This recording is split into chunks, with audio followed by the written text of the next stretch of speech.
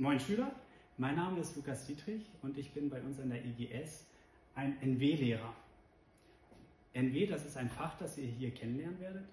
Das steht für Naturwissenschaften. Dabei geht es darum, in den Fachbereichen Biologie, Chemie und Physik Phänomene zu sehen, zu beobachten und sich mit diesen intensiver auseinanderzusetzen.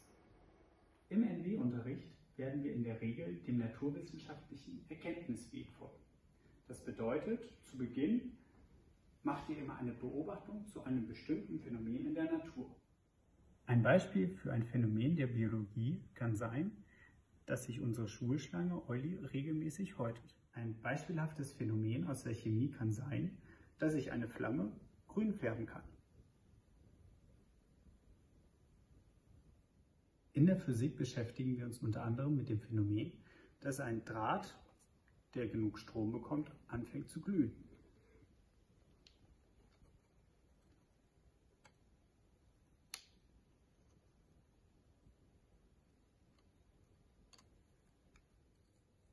Eure Aufgabe wird es sein, zu den gemachten Phänomenen, Beobachtungen, erst eine Frage zu entwickeln.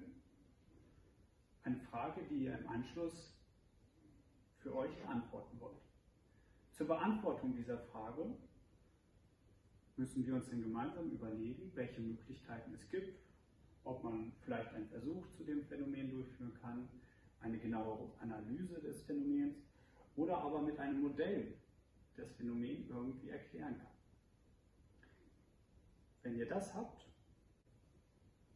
seid ihr danach aufgefordert, die Ergebnisse, die gemachten Ergebnisse auszuwerten und eine Erklärungsmöglichkeit zu erstellen, mit deren Hilfe ihr das Phänomen erklären könnt.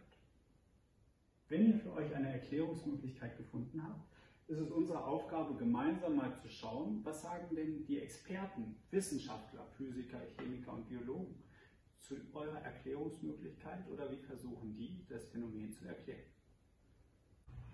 Unsere IGS hat auch das große Glück, dass wir unseren eigenen Schulwald haben halben Hektar groß, wachsen hier ein paar unserer Bäume.